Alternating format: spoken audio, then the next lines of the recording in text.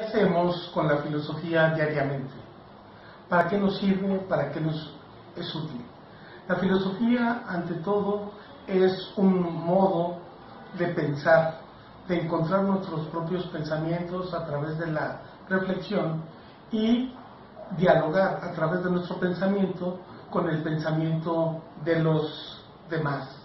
Extender estos pensamientos, criticarlos, analizarlos y justamente así empezar a cambiar la vida cotidiana, la vida rutinaria que se tiene y poder abrir horizontes de futuro.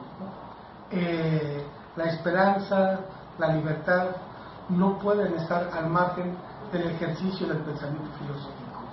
Y es de esta manera que esta actividad nos vuelve más humanos.